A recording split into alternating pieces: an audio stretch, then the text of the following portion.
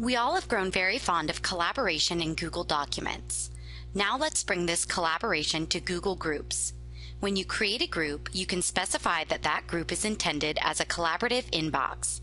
Doing so automatically enables collaborative permissions, such as assigning topics, marking duplicates, and changing tags for all of the group's members.